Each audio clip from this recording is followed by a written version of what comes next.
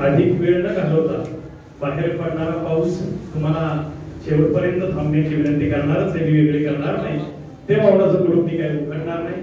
मी यासाठी डॉक्टरांनी स्वतःचं मौनाचं कुलूप उघडावं आणि आपल्या या साहित्याच्या पंचवीस वर्षाच्या या यशाबद्दल आमच्याशी दिलखुलासपणे बोलावं अशी मी त्यांना विनंती करतो. पहिल्यांदा प्रथमतः या मुलाखती डॉक्टर साहेब आपलं मी स्वागत करतो. डॉक्टरांना अशी विनंती करतो. हे डॉक्टर कित्येक वर्षापूर्वी मगाशी पाठकजींनी श्रीकृष्णाचा उल्लेख केला. श्रीकृष्ण असा जेव्हा प्रश्न विचारतो की मी धृतराष्ट्रासारख्या एका वयोवृद्ध माणसाला एका ठिकाणी बसून महाभारत दाखवायचं कसं ही दिव्य दृष्टी मी कुणाला द्यायची? असा प्रश्न जेव्हा संजय पडला तेव्हा त्यांनी संजयाची निवड पण संजयाची जी परीक्षा होती ती फार मोठी परीक्षा. तो म्हणाला की त्या पाच जणांची निवड केली तर मी संजयाची निवड का केली तर त्यानं सांगितलं की मी जे काही सांगेन ते सत्य सांगेन आणि सत्य आणि कृष्ण यांचं नातं तुम्हाला माहिती. पण मी पाठकींच्या भाषेत एवढंच वाक्य सांगेन आणि मुलाखतीला सुरुवात करतो वही माने या ना माने हम है जिसके दिवाने राजेंद्र बरोबर. तुमच्या मौनाचं कुलूप उघडलं हे आमचं काम आहे आठ वाजता. मी डॉक्टरांना अशी विनंती करतो. की आज डॉक्टर एकतीस जुलै आणि उद्या एक ऑगस्ट आहे. अनेकांच्या लेखणीचा अनेकांशी संबंध तुमचा लावला गेला. पण मी एका महाराष्ट्राच्या थोर साहित्यिकाच्या लेखणीशी माझा तुमचा संबंध लागला मी डॉक्टर डॉक्टर राजेंद्र माने यांचं लिखाण ज्या मातीमध्ये रुजलं त्या सांगली जिल्ह्यात ज्या आष्ट्या परिसरात रुजलं त्या मातीतच अण्णाभाऊ साठ्यांसारखा एक ऑगस्ट एकोणीसशे वीस रोज साहित्यिक जन्माला आला. त्या माणसानं सुद्धा मानवी दुःख नष्ट करण्यासाठी आपल्या व्यथा कथा मांडल्या.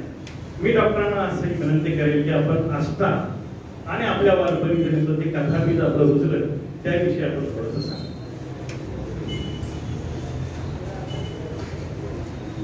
तर बोलण्यासारखं खूप आहे पण आठ वाजलेले त्याची तारीख मी थोडक्यात सांगायचा प्रयत्न करेन. प्रदीपने आता कृष्णाचा उल्लेख केला. कृष्ण प्रत्येकाला वेगळ्या वेगळ्या पद्धतीने दिसतो प्रदीप प्रदीप म्हटला कृष्णाचा आणि सत्याचा संबंध. तर कृष्णानं युधिष्ठराला नरो वा कुंजलो म्हणून म्हणायला तो विनंती केलेली होती.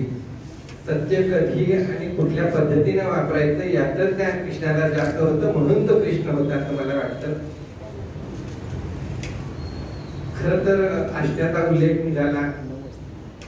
माझं बालपण आष्ट्यात गेलं. आणि अण्णाभाऊ सगळ्यांचा उल्लेख केला. तर मला आठवतं की आम्ही ज्या वाड्यात राहायचो त्या वाड्याचे घरमालक जे होते वसंतराव महाजन नाव होतं त्यांचं महाजन वेळात आम्ही राहायचो आणि ते त्यांचे एक मित्र सांगलीचे प्राचार्य होते कॉलेजवर चौगुले म्हणून त्यांचं आडनाव होतं. त्यांच्या कॉलेजमधनं ते एकदम भरपूर पुस्तकाचे कठ्ठे आणायचे. मग त्यात बाबा कदम असायचे अण्णाभाऊ असायचे आंबेडकर सुद्धा असायचे. आणि मला सांगायला अतिशय आनंद होतो की बाबुराव अर्नाळकर बाबा कदम अण्णाभाऊ साठे यांच्या साहित्यावर आमची पिढी त्यावेळी पोहोचली म्हणजे हरकत नाही. वाचण्यावर काहीतरी आनंद मिळतो हे जोपर्यंत आपल्याला कळत नाही तोपर्यंत वाचनाची आवड माणसाला निर्माण होते. आमच्या वेळी टीव्ही नव्हता हे आमचं भाग्य होतं मोबाईल नव्हते हे त्याहून आणखीन भाग्य होतं. त्यामुळे वाचन हाच एक आनंदाचा भाग. आणि दुसरा आनंदाचा भाग काय तर रेडिओवर बिनाकामी तुम्हाला ऐकणं किंवा रेडिओवरची नभोनाट्य ऐकणं लहानपणी दर बुधवारी मराठी शुक्रवारी ती असायची. तर हेच फक्त आमच्या आनंदाचे भाग होते त्यावेळी. आणि ही पुस्तकं ती कोणाड्याची पुस्तकं जेव्हा आमच्या घरमालक पाहत जातील तेव्हा आणायची. आणि शाळेतल्या पुस्तकामध्ये घालून ती वाचत बसायचं. अशातनं आमची वाचनाची आवड माझी झाली. आणि त्यावेळी एक मोठं व्यापक विश्व मोठं म्हणजे आमच्या वाड्यात येणारी माणसं होती. त्याचबरोबर वाड्यात असणाऱ्या स्त्रिया होत्या. ह्या दोन घटकांनी त्यावेळी मला खूप काही दाखवून दिलं कळत काहीच नव्हतं त्यावेळी की कोण कसं वागतं का वागतं कशासाठी बोलतं काय बोलतं. पण हे कुठेतरी मला वाटतं की मला किंमत केलं आणि एक वय किंवा एक विचाराची जेव्हा एक जाणीव झाली तेव्हा हे सगळं उसरून आलं आणि नंतर कथाने कादंबऱ्या त्याच्या मनात गेल्या माझ्या प्रत्येकही म्हटलं की स्त्री भावनेविषयी काय लिहिलं जातं जास्त त्याचं महत्वाचं कारण म्हणजे आम्ही ज्या वाड्यात राहायचो तेव्हा लहानपणी पुरुष माणसं ही कामावर गेलेली असायची. आम्ही बरेचशे घरात असायचो. वाड्यात पडवीत माझ्यात आमच्या त्या मावश्या आजच्या काक्या असायच्या शिवाय बाहेरचे येणारे गप्पा मारायला लागणाऱ्या बायका असायच्या. आम्ही आपल्या तिथं कुठेतरी कोपऱ्यात काहीतरी करत बसलेलं असायचं. तेव्हा त्या काही बोलायच्या. अं, सूचक बोलायच्या कधी व्यक्त व्हायच्या कधी भडक सुद्धा बोलायच्या. म्हणजे त्यांच्या मनात कधी कधी अशा म्हणी असायच्या त्या कधी अश्लीलतेकडे चुकणाऱ्या सुद्धा असायच्या. पण त्यांचं ते व्यक्त होणं असायचं. हे कुठेतरी टिपत गेलं. आणि मला वाटतं की जेव्हा मी व्यक्तिचित्र लिहिलं कथा लिहिल्या वडिलांची माणसं लिहिली म्हणजे त्यात लिहिल्या कथा सादर करतात ही एखाद्या वैदिक तर ती जे काय बोलते स्पष्टपणे. म्हणजे घरात घरात बाई उघडी नवऱ्याच्या डोक्याला पगडी असं काय करायचं असेल ती विचारते. म्हणजे घरची जर बाईला तिला नीट बोलता येत नसेल बाहेर पगडी घालून जर तर त्याचा काय उपयोग? तर हे जे कुठे आम्ही ऐकलं तर ते बसल्यावर ते ऐकलेलं ते ते आहे. आणि हे नंतर कुठेतरी कुठेतरी साहित्यात उतरत गेलं. अष्ट्याबद्दल सांगण्यासारखं खूप आहे माझ्या आठवणीच्या पानामध्ये मी अख्खा माझा पहिली ते बारावीपर्यंत अष्ट्याचा प्रवास लिहिलेला आहे. तर ही सगळी जी माणसं होती. आणि त्याचबरोबर मगाशी उल्लेख झाला की आता मुलांना बघायला मिळत नाही किंवा असू दे असू दे पिंगळा असू दे वाघ्या मुरळी असू दे ही सगळी माणसं आमच्या वाड्याच्या चौथऱ्यात यायची चौकात यायची. म्हणजे ती वाघ्या मुरळी तेव्हा डान्स करायचे खंडोबाची राणी म्हणायचे वासुदेव यायचा मग आमची काय म्हणायचे म्हणायची कुणालाही मोकळं पाठवायचं नाही. थोडं थोडं द्यायचं आपलं ऋण आहे म्हणतात की आपल्या वाड्यात येणारा माणूस मोकळ्या हाताने कधी जाता उपयोगात नाही. ते सगळं कुठंतरी रुजत केलं म्हणजे मला आठवतं एकच उदाहरण तुम्ही माहिती का प्रयत्न थांबवतो कारण फार वेळ आली. की आमच्या वाड्यात अं, अष्ट्यामध्ये मंदिरच्या चौकात एका झाडाखाली एक वेडा माणूस बसायचा तर तो वेडा माणूस असेल तर आमची आजी काय म्हणायची की पहिल्यांदा जेव्हा अं, नैवेद्य आमच्या अंबाबाईला जायचं सर केलं की एक नैवेद्य अंबाबाईला घेऊन दे आणि एक थोडी पोळी त्या येताना त्या गण्याचा रोबत घेऊन ये म्हणायची. तर हे कुठं सगळं आलं? तर हे त्या वातावरण जेवढा देव महत्त्वाचा आहे तेवढा तो बेवारशी असणारा त्याला कोण नाही तो पण महत्त्वाचा आहे. त्याच्या पोटात जाणं हे देवाच्या दारात जाणं इतक्या महत्वाचं आहे असं तिला प्रत्यक्ष सांगायचं असतं. अशा संस्कारात तर अशा वातावरणात आम्ही वाढलो. त्याचे कुठेतरी प्रतिसाद नंतरच्या कथा कादंबऱ्यामध्ये उपटत गेले असं मला वाटतं. लेखक टीम कागदासारखा असं म्हणतात तर त्या पद्धतीनं तुमचं हे सगळं टिकणं झालेलं आहे असं वाटतं पण एक प्रश्न असा विचारायचा की बहुतेक सर्वसाधारणपणानं जो लेखकाचा प्रवास असतो तो कविता मग ललित लेखन मग कथा आणि कादंबरी. तुमच्या बाबतीत हे नेमकं उलट झाले तुम्ही सलग दहा काद कादंबऱ्या लिहिल्यात त्याच्यानंतर कथेकडे ललित लेखनाकडे वळलात आणि कविता तरी आत्ता अगदी गेल्या चार पाच वर्षात. तर हे कसं काय झालं? त्याला एक कारण असं की मराठीत सांगितलं की कादंबऱ्या वाचायची फारच सवय होती. ते बाबा कदम वाचली त्याच्यावर त्याच्या जयवंत दळवीचा माझ्या त्या काळात फार इफेक्ट होता. म्हणजे जयवंत दळवी सीना पेंडसे हे माझे त्यावेळेचे अतिशय आवडीचे लेखक होते दोघंही. आणि हे दोन्ही लेखक असे आहेत की त्यांची नजर काहीतरी समाजात वेगळं काही करत असेल तर त्याची औद्यानिक नजर आहे म्हणजे दळवींचं थोडस लैंगिकतेवर असेल किंवा शरीर संबंधावर असेल अशा ह्याच्यातलं काही वेगळं पण असेल. किंवा घुसमट असेल किंवा कुचंबण असेल ती जाणण्याची त्याच्यावर व्यक्त होण्याची कथा कादंबऱ्यातून दळवींची एक शैली होती. त्याचप्रमाणे पेन्सेंची एक वेगळी शैली होती की ती प्रादेशिक असू दे त्या माणसांचे नातेबंद असू देत आणि तिथं घरामध्ये घडणारी जी सगळी घुसमट असू दे किंवा त्याच्यात निर्माण होणारे शारीरिक माणस नातेसंबंध असू दे म्हणजे अगदी तुंबाळशक होतं असलं तर आपल्याला सांगतो की या माणसाचा पैस किती मोठा होता? तर ते गारून पहिल्यांदा माझ्या मनामध्ये होतं. आणि मला वाटतं की कदाचित ते सगळं आपण पण लिहायला पाहिजे. असं आहे ना पहिल्यांदा मी कादंबरी घ्यायला सुरुवात केली. म्हणजे मोहिनी साहेबांची एक स्त्रीप्रधान कादंबरी पहिल्यांदा लिहिली. त्यात सगळं अष्ट्याचं वर्णन आहे. धाटावाडामध्ये अष्ट्याचं वर्णन आहे.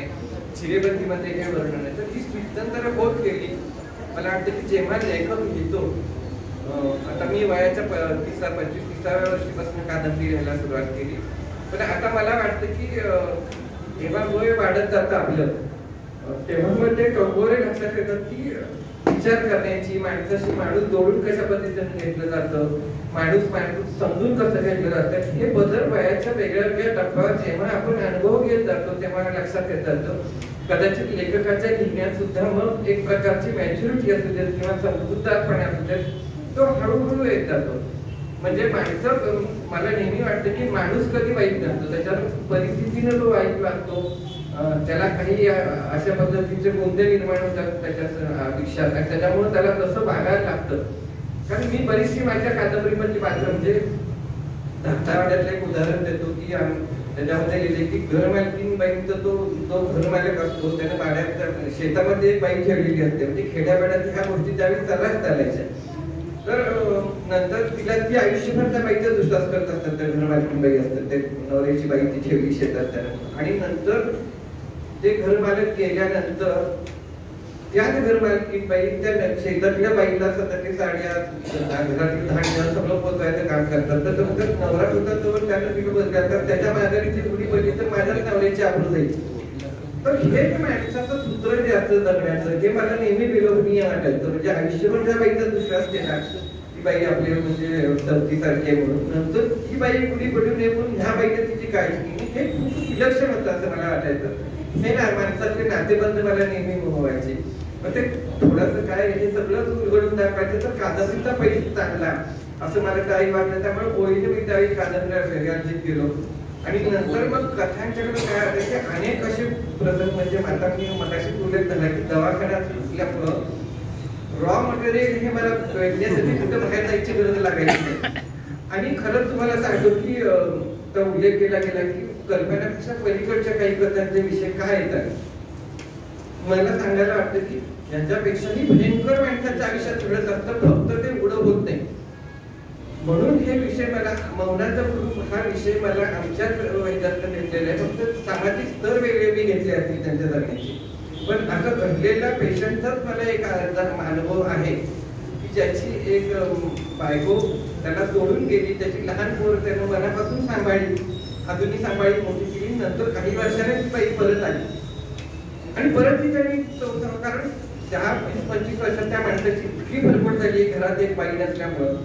की मला वाटतं त्याने मग ते समजूतदारपणे आता परत आम्ही की भरपट कमी व्हावी म्हणून तिला स्वीकारलं तर काय हे कोणते आहेत. हे प्रत्येकाने विचारायला आपल्या आपल्या सोडायचं म्हणजे लेखक काय करतो की त्याचं चिंतन हे सगळा होतात तुमच्यासमोर उलगडून देतो.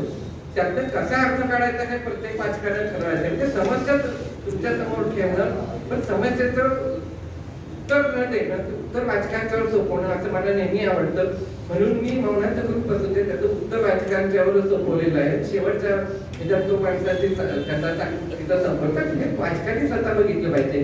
पण मला मुद्दाम सांगायचं वाटतं की खूपदा वाटतं की हे कल्पनारम्य विषय असावेत म्हणजे अगदी जिगोलो जर नसले तरी जिगोलोमध्ये जे काही दोन पुढच्या जे कथा आहेत एका वैद्यकाचा प्रवास वगैरे सारखी कथा आहे जी अंगावर येते. पण तो विषय माझ्याच एका माझ्या सायकेट्रिक मित्राने दिला होता. कारण त्याने सांगितलं की हसाचं घडले नाही ह्या कुटुंबामध्ये. आणि हे आपल्याला कधी जाणवत नाही आहे मनात सुद्धा विचार येत नाही की अशा कुटुंबात असं काही घडत असेल म्हणून. तर असं घडत नसतं असं नाही. फक्त मी काय केलं की अशा पद्धतीचे विषय घेतल्यामुळे लोकांना वाटलं की हे जास्त कल्पना नाही आहे काही. पण हे सगळं घडलेलं आहे. आज जीवनासारखा प्रश्न जो आहे तो महानगरीय प्रश्न म्हणण्यापेक्षा महानगरीय ह्याच्याची तळतोड आहे असं मला वाटतं की अनेक आता करिअर ओरिएंटेड या वगैरे आणि हे विषय मला कुठे मिळाला? तर मी जेव्हा कल्पना महाजनांचं कल्पना महाजनांचं ग्राफिटी वॉर नावाचं एक लेख वाचत होतो. तर त्यामध्ये तो एक लेख अर्थात मध्ये त्या जिगोलोचा जाता जाता उल्लेख होता. आणि मग माझ्या मला तो विचार की हा काय म्हणजे नक्की प्रकार? मग आता एक आपल्याजवळ चांगलं गुगल माध्यम आहे. त्या माध्यमाचा मी भरपूर उपयोग केला. आणि त्याच्यात मला नंबर मिळाले खरं तर कशा पद्धतीने चालतो त्याचं रॅकेट कशा पद्धतीने चालतं एकंदरीत कसं म्हणजे लोखंडवाल्यासाठी राहणारे हे जिगोल हे आपल्याला कल्पनेत सुद्धा कधी येत नसतं तेच एक थोडस विचारायचं होतं की इतका बोल्ड किंवा धाडसी विषय वाचक कसा ऍप्रिसिएट करतील अशी शंका मनामध्ये नाही का आली?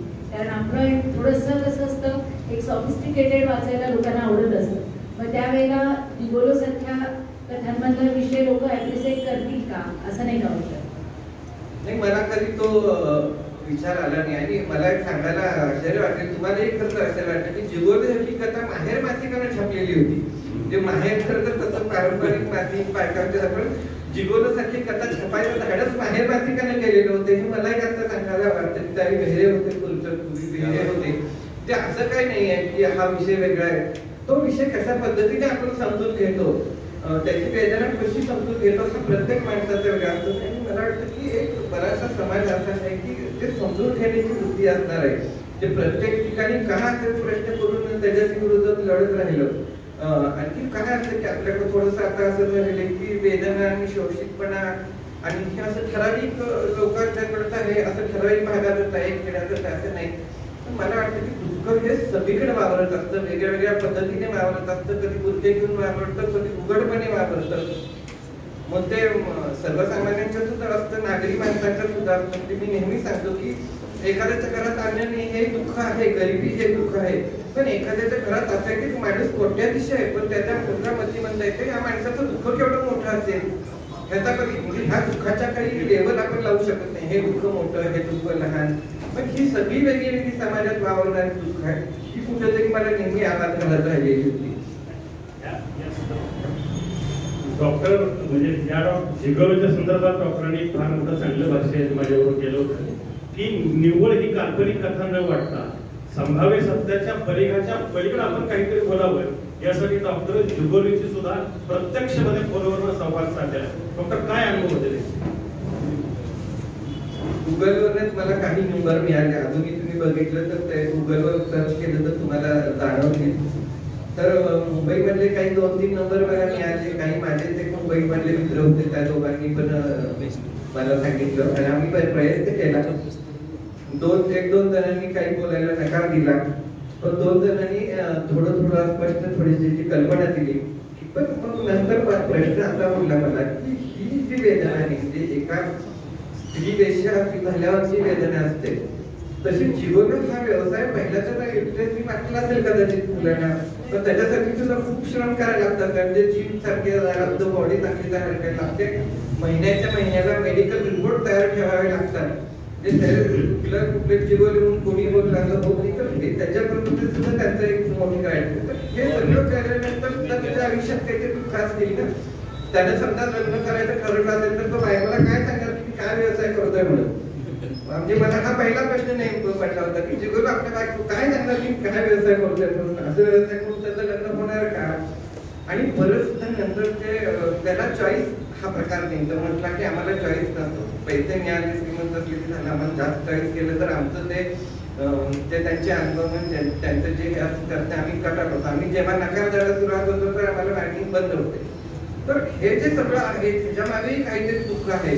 असं मला वाटतं. जिगोलोची त्या दुःखावर लिहायचा प्रयत्न केला. म्हणजे त्याच्या समाजात चाललेलं ते जे आहे चांगलं का वाईट आपण लेबल लावू शकत नाही. जर व- परंपरा इतके वर्ष तर चालू आहे. म्हणजे अगदी वसंत सेनेपासून अजूनपर्यंत अं, हिरामंडीपर्यंत आमचा हा विषय अजून संपत नाही. कारण का त्याच्यामध्ये काहीतरी जिवंत वेदना आहे तसंच मला वाटतं की ही सुद्धा वेदना आहे पुस्तक वेदना ही अजूनही एका पडद्याआडची आहे. कदाचित ती हायफाय सोसायटी जास्त असल्यामुळे मला वाटतं की त्याच्यावर कोण फार व्यक्त होत नसेल किंवा परदेशात मात्र अजून ह्या विषयाच्या कादंबऱ्या कथा आहेत भरपूर आहेत. म्हणजे ब्लड लाईन सारख्या मला वाटते आयरिन गॅरेजच्या कादंबरीमध्ये याचा उल्लेख आहे पात्र आहे मला वाटते असं माहीत असेल. तर पण आपल्याकडं काय असतं की एक लिहिताना सुद्धा मराठीमध्ये कुठला विषय घेता? मग तो पाडणाही नाही त्याच्याकडे बघायचंच नाही असं असतं. नंतर संजय भास्कर जोशींनी साहित्य सूचीवर जिग जिगलो कथा संग्रह केलं होतं.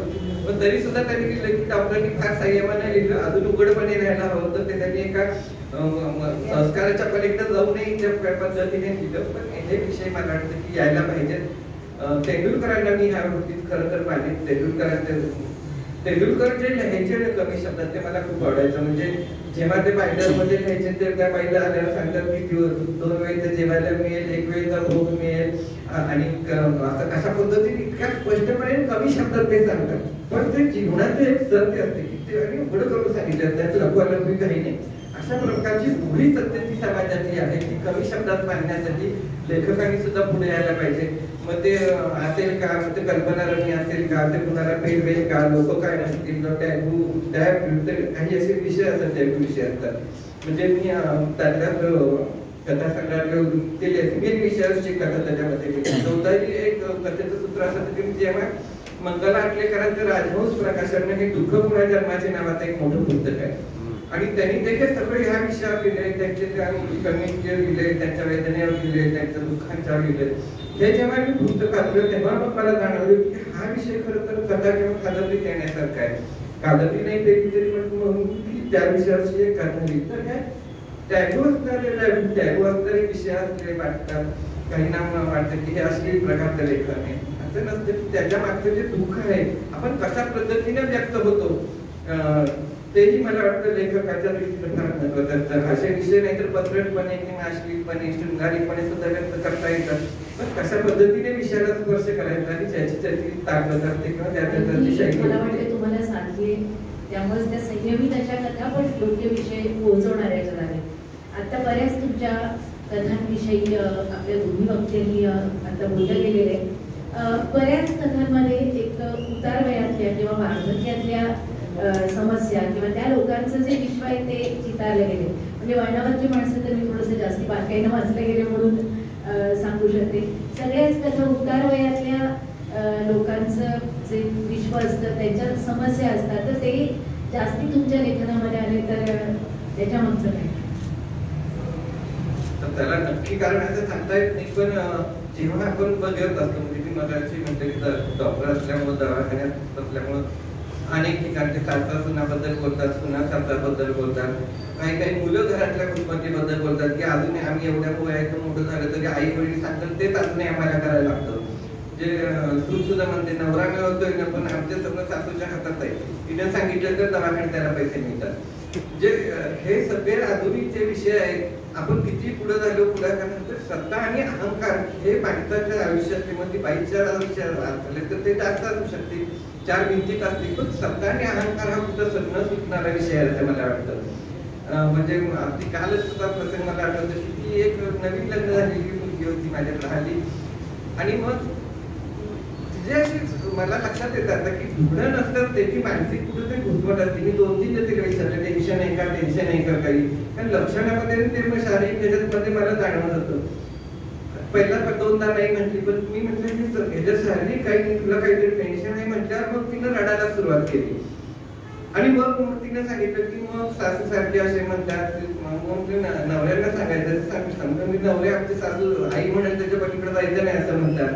घरातली लहान म्हणती नणद सुद्धा माझ्यावर मला बोलतील मला ते ऐकून घ्यायला लागतं. तर मग असं जाणवतं की अजून ही वरची पिढी जी आहे तिचा पण कुठेतरी अहंकार अजून घडलेला आहे.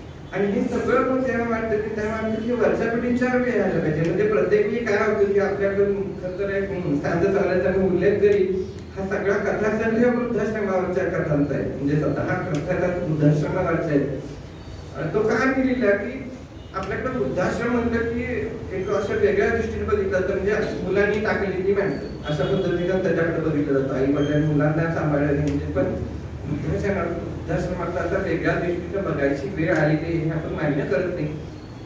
आज आम्ही कॉलनीमध्ये बघितलं तर मोठ्या मोठ्या बंगल्यामध्ये दोन दोन नवरा बायकोत राहतात. मुलं सगळी परदेशात असतात. पण तोपर्यंत शरीरात ताकद आहे तोपर्यंत माणूस राहू शकते. शरीरात ताकद आहे तोपर्यंत मुलंही परदेशात बोलवतात येणं जाणं होतं सगळं होतं. पण एक अवस्था अशी होती की मग परदेशात जायची सुद्धा ताकद राहते. म्हणजे तुम्ही किती पाठवा काही केलं पण तेवढी ताकद सुद्धा राहते मग अशा दोन एवढ्या मोठ्या बंगल्यात दोन माणसांनी राहायचं कसं? अनेक प्रश्न असतात. कोण पडलं धडलं करणार काय? आजारी पडलं क- औषध आणणं काय? असे अनेक प्रश्न असतात. फक्त पैसा हे ह्याच्यावर उत्तर असू शकत नाही. पण ह्याच्यावर वृद्धाश्रम हे अतिशय वाईट उत्तर आहे का? तेव्हा असं काही काही माणसं आता असं झाली की आता त्याला वेगळी नावं दिली. आतश्री सारखं पुण्यामध्ये मोठे संपूर्ण सारखं निघालं की संमतीने स्वतःच्या मानसिक चांगल्या मानसिकतेने सुद्धा आता आपण दोघंही आहेत पण आपल्याला तर होत नाही तर आपण तिथं जाऊया. तिथं व्यवस्थित सगळं खाणं पिणं हे सगळं होईल. आपल्याला कोण ना एक वयस्क माणसे भेटतील त्यांच्याशी आपला संवाद येईल कारण एवढ्या मोठ्या बंगल्यात नाटक उघडून बोलायला येणारे माणूस जेव्हा भेटत नाही तेव्हा घरात चुकी लागलेला पैसा काही संवाद साधू शकत नाही असं मला नेहमी वाटतं. वृद्धाश्रमाकडं काही दृष्टीने चांगल्या दृष्टीने बघायला पाहिजे असं मला वाटतं. म्हणजे जेव्हा एकटं कोणतरी असतं? आयुष्यबल्लभल्यानं केलेलं असतं किंवा एखाद्याचा जोडीदार गेलेला असतो मुले नसतात अशा अनेक पद्धतीचे असतात. तेव्हा स्वतःहून वृद्धा चांगल्या वृद्धाश्रमात राहणं ही काय फार वाईट गोष्ट आहे असं मला वाटत नाही. आणि तशी आता माणसं ते स्वीकारायला लागलेली आहे हे अतिशय चांगले म्हणून त्यातल्या ज्या कथा होत्या त्या कथांचं सूत्र दुःखाशी बांधलेलं कधीच ठेवलं नाही. जे तिथले जे नातेसंबंध निर्माण होतात त्या वयात एक संवाद निर्माण होणारा सुद्धा असतो ना? म्हातारा म्हातारी जरी घातले वेगळे असले तरी कुठेतरी मन मोकळं करणं एकत्रित येणं असे एक काहीतरी मनाच्या ओलाव्याने एकत्र वाढलं जाणं असे सुद्धा त्याच्यामध्ये प्रसंग येऊ शकतात. म्हणजे म्हणून ही माणसं मला नेहमी वेगळ्या वेगळ्या विषयावर विचार करायला लागली. आता समाजात घडणाऱ्या घटना त्याच्यामुळे जास्त प्रस्पष्टानं पुढे यायला लागल्या. म्हणजे जेव्हा एखादा मुलगा असं स्टेट तुला परदेशात नेतो म्हणून नेतो तुला विमानतळावर एखादा बाईला सोडून जातो. ही जर सत्यकथा जर आपल्या समाजात घडत असेल तर ह्यावर सुद्धा कोणीतरी घ्यायला पाहिजे असं वाटलं. आणि कसं असतं की आपणही आता मी साठीच्या दरम्यान साठीवर राहिलेली आहे.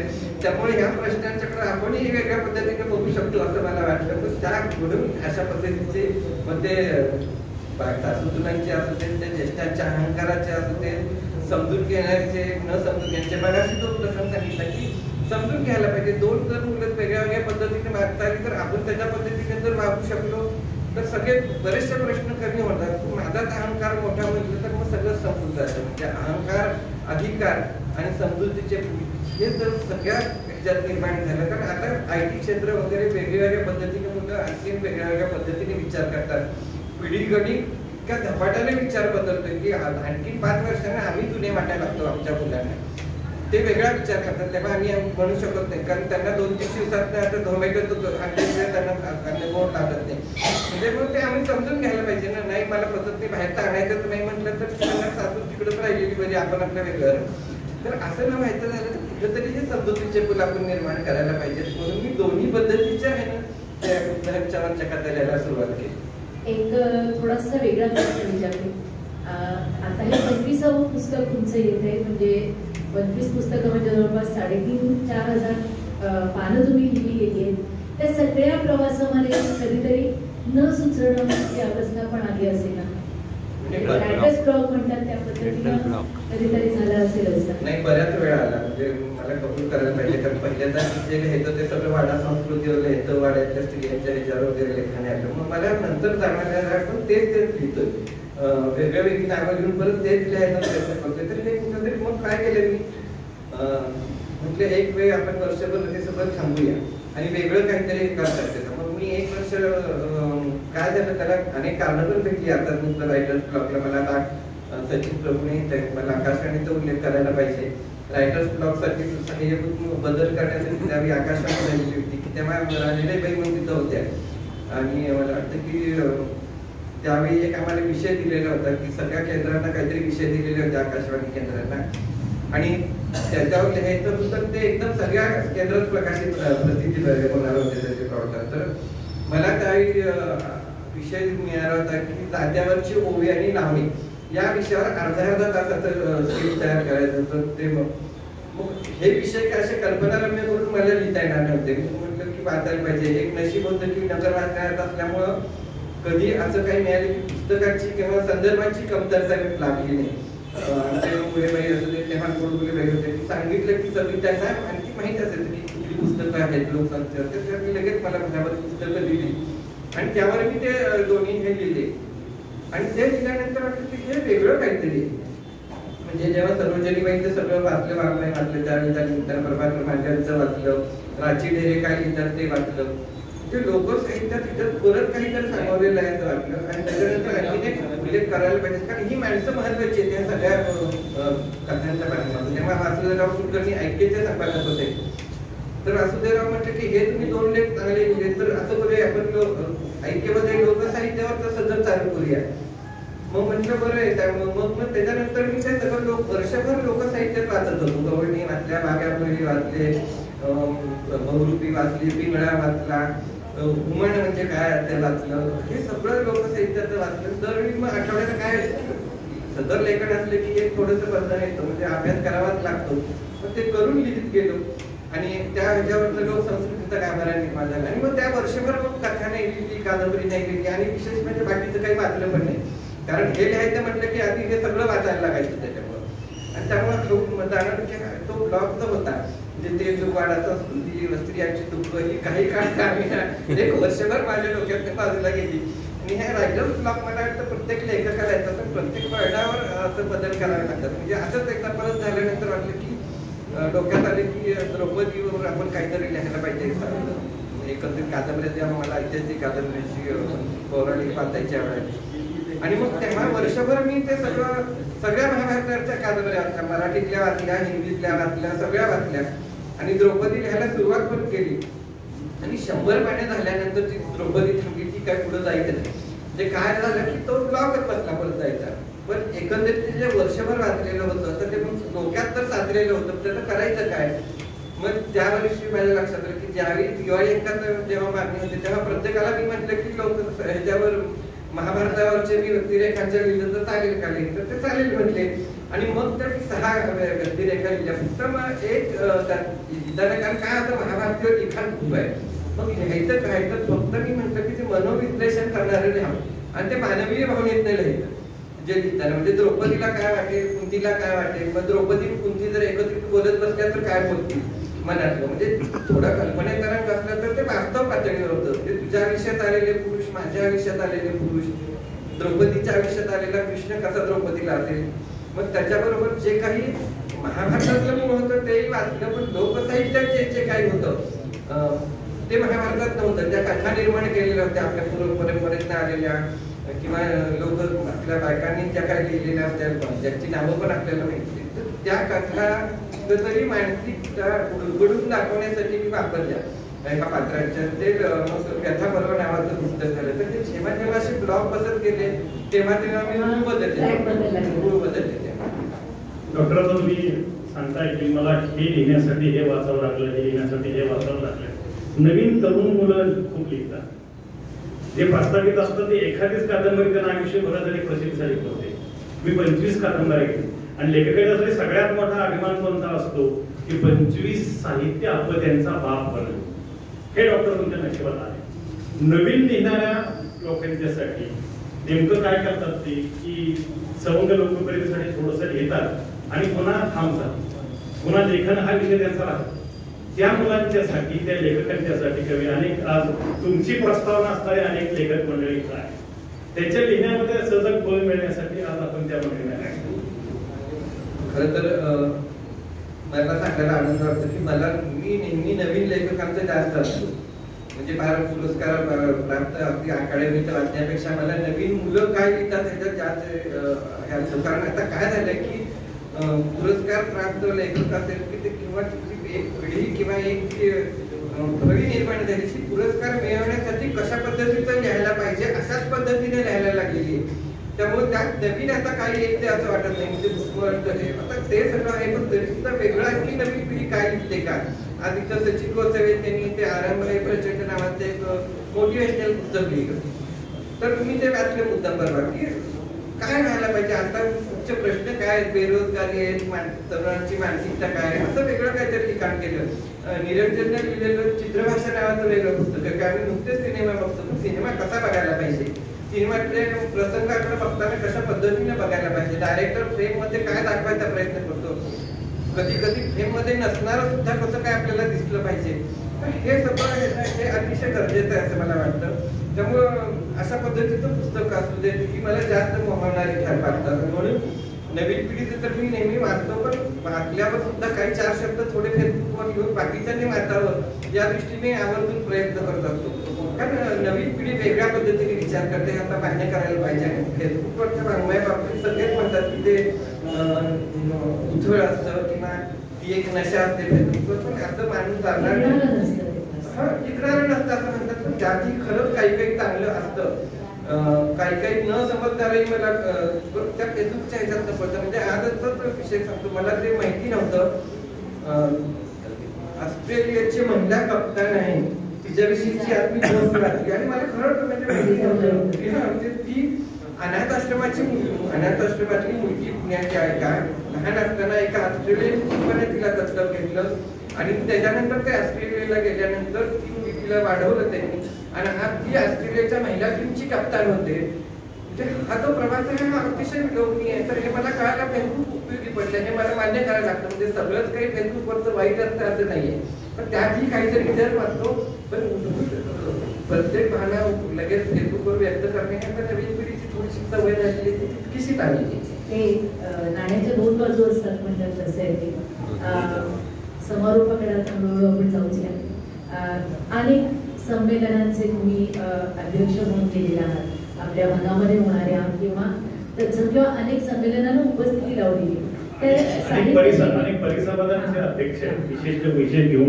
तर अशा संमेलनाचं साहित्य निर्मिती किंवा वाचन संस्कृती रुजवायला अ, कितपत पोषक असतात. कारण अलीकडे उत्सवी स्वरूप बऱ्याच अशा गोष्टींना आलेलं असतं. पण त्या उत्सवातनं नक्की काही या साहित्य व्यवहाराला काही फायदा होतो किंवा नाही? ते तुमचं काय निरीक्षण आहे त्याबाबतीत मोठ्या संमेलनांचा काही साहित्य व्यवहाराला फारसा उपयोग होत असेल असं मला वाटत नाही. कारण आता काय झालेलं आहे की हे सगळं एक फिल्डिंग झाली का? विशिष्ट हे झालेलं आहे की तुझा माझा हा माणूस आहे हा दुसरा माणूस आहे हा मराठवाड्यातला आहे हा पश्चिम महाराष्ट्रातला आहे. अं, मला अशा पद्धतीने उपयोग होते. किंवा माझ्या दुसऱ्या युनिव्हर्सिटीतला आहे त्याला बोललो तर तिथं माझा धडा लागेल माझा. किंवा त्याला मी बोलवलं तर तो मी त्याचा धडा लावतो. अशा पद्धतीचं एक वेगळ्या पद्धत प्रकारचं हे साहित्यकारांचं आलेलं आहे. आम्ही डॉक्टर लेखक असल्यामुळे या सगळ्यांना बाहेर राहायचं कारण आम्ही प्राध्यापक नाही.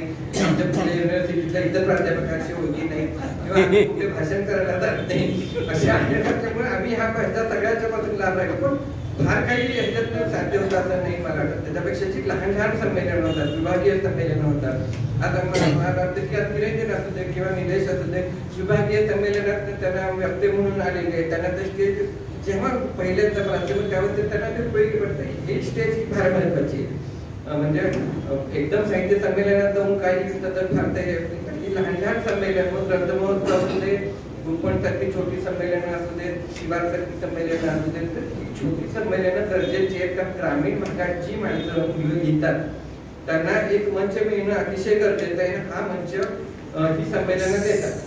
म्हणजे साहित्य मोठ्या साहित्य संमेलन सुद्धा कवी संमेलन सत्तर कवी असतात आता. कारण सगळ्या सदरांना सांगून पण सत्तर कवी आहेत. ऐकायला सत्तरच वाटतं पुढे. असतात कदाचित म्हणजे आता अशी परिस्थिती अवघड झालेली आहे. तर नुसतं संमेलन स्टेज मिळणं आणि कविता वाचणे याला महत्त्व नाहीये कविता पोहोचणं ती चांगल्या लोकांच्या पर्यंत जाणं. म्हणजे त्याच्यासाठी मला वाटतं की छोटी छोटी मंच असतात. ज्या तिथं चार चौकी म्हणजे आपल्या आदित्य आहे कामकर मॅडम आहेत. ह्यांनी जे निर्माण केले. बाकी त्या प्रयत्न खूप वेगळं स्किप घेतात आणि ते आपल्या आजूबाजूच्या ह्याच्यातून ते सादर करतात. हा हे फार महत्वाचं आहे असं मला वाटतं. तिथं अगदी साहित्य संमेलनात आता काय झालंय? पूर्वी इतकी गर्मी जवळजवळ ओळीनं पंचवीस साहित्य संमेलन उपस्थित राहिलं होतं. नंतर आता गेले चार वर्ष एकाही साहित्य संमेलनाला गेलं कारण तोच आणि त्याच्यापेक्षा काही विषय पण बरी समाजाचे तेच तेच आणि मग जळसर भाषणं. आणि काय झाले मग? आता असं झालं की काहीतरी इतकं जड बोललं की आता लोकच कंटाळते मग समोर ऐकायलाच कोण नसतात. आता मोठ्या साहित्य संमेलनात एवढ्या शंभर सुद्धा माणसं जर बरी समाज ऐकत नसतात म्हणून मला वाटतं की सोप्या पद्धतीने व्यक्त होणं साध्या सर्वसामान्य माणसांच्या सुखदुःखाशी समांतर जाणारं काहीतरी निर्मिती होत राहणं. आणि त्यानंतर जेव्हा आपण लिहिलेलं त्यांना कुठेतरी समांतर जातं ना तेव्हा त्या माणसाला बरं वाटतं ऐकायलाही बरं वाटतं. कुठेतरी आपलं त्याच्यात सुख आहे किंवा आपलं कुठेतरी दुःखाचं कुठेतरी एखादा धागा त्या त्यांना जर लक्षात आला तर ते साहित्य त्यांना आवडतं. आणि अनाभूत साहित्य असं ते बाबा कर्मांचं असते किंवा हे पूर्वीचे काही लेखक असतात म्हणजे पेंडसे दळवी सगळे असते शंकरराव खरात असते अगदी शंकर खंडू पाटील शंकर पाटील शंकर खंडू पाटील ह्या लोकांनी जे ग्रामीण लिहिलं त्यामध्ये माणसाला त्यांचं प्रतिबिंब दाखवायचं म्हणजे व्यंकटेश मांडूकरांनी जेव्हा मा- मानदेशी माणसं लिहिलं ते अजूनही जिवंत का झालं तर त्याचा एकच सूत्र आहे की ते माणसाच्या दुःखाशी सुखाशी प्रामाणिक राहून लिहिलेलं आहे. अजूनही माणसाला त्यांच्या ह्याच्या साहित्यामध्ये त्यांचं प्रतिबिंब दिसतं आणि सोप्या भाषेत लिहिल्यामुळं ते सगळं कळतं. ते शांताबाईंची लिहायचे असं दुसरे म्हणून सारखं त्यांचं सतत असते किंवा इतरही जे काही शांताबाईंनी लिहिलं ते सगळं लोकांना कळायचं आपलं वाटायचं कारण त्या सोप्या भाषेत त्यांच्या समजेल अशा भाषेत लिहिलं जायचं त्यामुळे ते लेखक अजूनही जिवंत आहेत. आज आम्हाला कितीतरी पुरस्कार किंवा अकॅडमी किंवा हे मिळालेले लेखक आठ पाच वर्षानंतर त्यांचं साहित्य किती वाचलं जातं? मी नगर वाचण्यात असल्यामुळं आमच्याकडे यादी आहे की कुठलं साहित्य पुस्तक किती जणांनी वाचलेलं जातं. त्याच्यावर मला ते लेखक कळतात. पुरस्कार असू दे तुम्हाला दहा पंधरा पुरस्काराची यादी असू दे. पण तुमच्या जर त्या नगर वाचनाच्या कारवर पंधरा वाचक सुद्धा नसतील नोंदले गेलेले तर त्या साहित्याचं करायचं काय आहे? हाही मला मोठा प्रश्न काय काय वाटतो मग अजूनही एक कौतुक वाटतं की सोह्या शिरवळकरांचं पुस्तक आमच्या काउंटरवर मिळत नाही सापडत नाही बाबा कदम सापडत नाही आमच्या ह्याच्यावर अर्नाळकर सापडत नाही. मग ह्याचा अर्थ ते लेखक गेले करून काय? अजूनही ती पुस्तकं मिळत नाही. पुस्तकं लवकरात लवकर खराब कुणाची होतात तो जास्त वाचला गेलेला लेखक असतो. बाबा कथांचं पुस्तक दोन तीन वर्षांनी आम्हाला त्यांची आवृत्ती घ्यावी लागते कारण त्याची पानं निखळूनच जातात शिरवळकरांची पुस्तकं खराब होतात. कब्जावर मिळत नाही. दाबली जातात. दाबली जातात तो भाग वेगळा. पण ह्याचा अर्थ ते लेखक अजूनही लोकांच्या टाचले जातात. तर मी म्हणतो माझा क्रायटेरिया असं आहे की त्या नगराच्या कार्डवर जेव्हा तुमच्या वाचकांचे नंबर संख्या जास्त असतील ते लेखक लोकांच्या पर्यंत जास्त पोहोचलेत असं मला नेहमी वाटतं. आणि मी ती कार्ड बघतो. मोठ्या मोठ्या लेखकांची नावं खाली एक दोन वाचत नसतात. मोठे एवढे उपयोगाचे वाचलेले वाचलेले लोकांनी समीक्षकांच्यासाठी नुसते येऊन काही उपयोग नाही. पुरस्कार मिळतील पण माणसाशी जोडलं जायचं असेल तर माणसाची नारा ओळखून त्याची दुःख दुःख ओळखूनच लिहिलं पाहिजे असं मला वाटतं. शेवटचा प्रश्न वैद्यताई विचारले डॉक्टरांना पण आजच्या या कार्यक्रमाचा समारोप करण्यापूर्वी तर सेकंड लास्ट जो प्रश्न आहे तुम्ही डॉक्टरांना हा व्यक्तिगत स्वरूपाचा असा विचारणार. डॉक्टर साहेब आज तुमच्या लेखनामागे प्रेरणा देणाऱ्या पैकी तीन लोक आज इथे नाही एक तिच्या नावचा ही अर्पण पत्रिका आहे. ती कैलासवासी शीतल देशमुख. दुसरे डॉक्टर कारखानीस ज्यांनी डॉक्टरांच्या जिव्हा पाड केली ज्याचा मैत्र कसा असावा आणि ते मैत्र कसं सांभाळावं हे त्या माणसाने शिकवलं. आणि तिसरे म्हणजे ज्यांची आठवण येते कैलासवासी भास्करराव माने अर्थात डॉक्टरांचे बाबा. त्या कुठल्या तरी कोपऱ्यात ते बसून या सगळ्या गोष्टी पाहत आज पंचवीस पुस्तकं बघण्याचा निश्चित त्यांना. डॉक्टर एका मिनिटातल्या तीन माणसांची विषय आपण काय? मी मगाशी सांगितले की माणसाच्या आयुष्यातली एकदा किती माणसाला समृद्ध बनवत असते म्हणजे प्रत्येक वेळी त्या माणसाला आपल्या हातात पुस्तक दिवायला पाहिजे किंवा आपल्या साहित्यावर काही सांगायला पाहिजे किंवा आपल्या साहित्याची भावा केलं. म्हणजेच तो माणूस आपल्या साहित्याच्या प्रवासात महत्त्वाचा असतो असं बोलत नाही. चांगले टीकाकार बंदवळ असायला पाहिजे. वेगप्रसंगात माणसाला मानसिक आधार देणारी माणसे जवळ पाहिजेत आणि एक पालन करणारं व्यक्तिमत्व म्हणजे आपल्याला नेहमी समृद्ध किंवा एक चांगली सुस्थिती निर्माण करणारं एक कोण जर आयुष्यात लागतं. नाही तर आयुष्याशी झगडत बाहेरशी मिळवण्यात जर आपण रमलो तर तो जरा बाकीच्या ह्याला अं, वेळ मिळत नाही तर माझ्या नशिबानं मला चांगले आई वडील मिळाले त्यांनी चांगल्या सुस्थितीत मला ठेवलं की घरदार आणि भाकरी याच्या मागं धावायची मला कधी वेळ आली नाही. त्यामुळे मी बाकीचं सगळं करू शकलो. त्या दृष्टीने ते महत्वाचं वाटतं. एक डॉक्टर कारखानेचा सारखा मित्र माझ्या आयुष्यात राहिला की आयुष्यातले बरेच आणि चढ उतार आमच्या कुटुंबाचे असते बाकीचे काही असते तर आणि असं असतं की खूप काही माणसाच्या मनात मी नेहमी सगळ्यांना आमच्या पेशंटला सुद्धा सांगतो. आज काल त्या मुली गेलं तर मुली सांगितलं की आपलं एक चांगली माहिती तू पहिल्यांदा शोध. पडतो आणि तिच्याशी गप्पा मार म्हणजे तुला हे टेन्शन एवढं राहणार नाही. कारण सगळ्या घरात हेच चालतं म्हटलं तुझ्याच घरात चालतं अशातला भाग नाही. मग हे सांगण्यासाठी किंवा आयुष्यात जी घुसमट आहे सांगण्यासाठी चांगला मित्र किंवा मैत्रीण प्रत्येक माणसाच्या आयुष्यात पाहिजे. आणि ते जर माणसाच्या आयुष्यात असं स्थान मिळालं नाही तर माणूस घुसमटतो कुठेतरी तो हतबल होतो. आणि मग परिस्थिती शरण व्हायला बरंच हे होतं. तर डॉक्टर कारखानीसांच्या रूपाने चांगला मित्र भेटला की माझे सगळे जे काही तरंग असतील देत मला की त्याच्याजवळ मी व्यक्त करू शकलो. आणि शीतल देशमुख ह्या माझ्या मित्राच्या पत्नी होत्या. त्यापेक्षा माझ्या पत्नीच्या जास्त जवळच्या माहिती नव्हत्या एक फॅमिली फ्रेंड होत्या. दुर्दैवाने त्यांचं त्या वयाच्या पन्नासाव्या वर्षी त्यांचं निधन झालं. हे जे फॅमिली फ्रेंड जे असतात आपल्या कौटुंबिक मित्र असतात आता आमचे काही मंत्राव आहे हे बऱ्याच वेळा आपल्याला आधारभूत असतात. म्हणजे आपला तो वृक्ष माणसाला दिसत असतो पण ज्या मुळे असतात ना. हे मूळ कशावर शोधतोच करतो? काय त्याला सहजपणे मिळतं. म्हणजे आयुष्यात असणारी माणसं असू देत वाचलेली पुस्तक असू देत किंवा वाचलेली माणसं असू देत. ही माती खाली असतात ती बऱ्याच वेळा दिसत नाही. वर पंचवीस पुस्तकाचा वृक्ष दिसतो पण त्याच्याखाली हे सगळं बरेच साचलेलं आहे असं मला वाटतं. सगळ्यांची नावं नाही घेतात अनेक संस्था आहेत. नगर वाचनालय असेल आश्रमिक ग्रंथालय असेल रवींद्र सारखा मित्र असू दे खूप साधनांची नावं अशी घेतात ही सगळी माणसं आहेत ती अशी माणसाच्या खाली मला पोषण करणारी माणसं आहेत. म्हणून हा पंचवीस पुस्तकांचा वृक्ष फक्त भारताला दिसतो पण त्याच्या खूप या सगळ्या माणसं माझे पेशंट सुद्धा सगळे.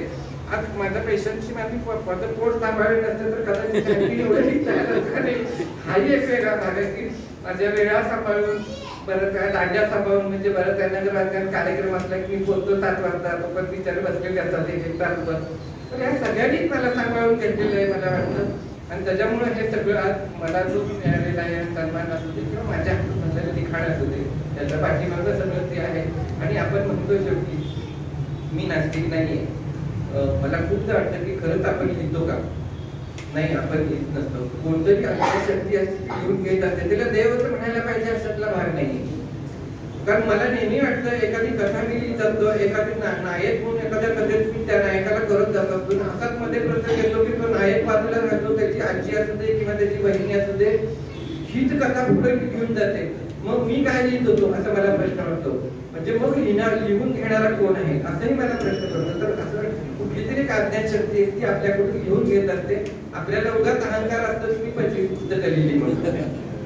आम्ही तुमचे सगळे पेशंट आरोग्य तरी एक सांगतो. तुम्ही आत्ता जे म्हणलात त्याच्यावरती एक प्रतिभा राय नावाचे साहित्यिक आहेत साह्य ज्ञानपीठ विजेते आहेत. त्यांनी एका वाक्यात सांगितलं होतं writer starts the book reader ends it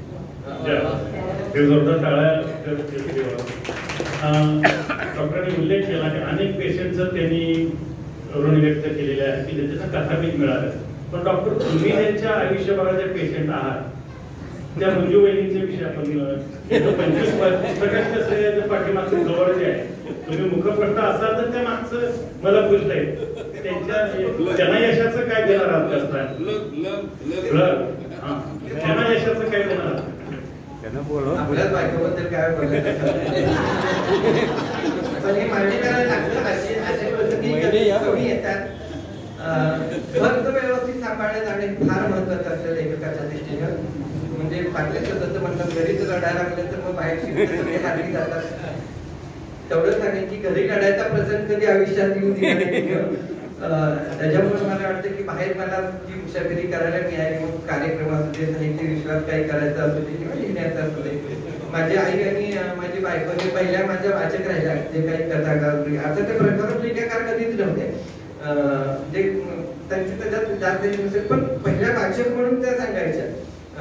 ह्या दोघी पण नेहमी वाचक आहेत. आमच्या घरात कुठलंही पुस्तक आलं की दीपावर असले की ह्या दोघी पहिल्यांदा वाचत असतात. कुणाचंही माझं तसं नाही बाहेरच्या कुणाचंही पुस्तक आलं तरी. त्या चांगल्या वाचक आहेत.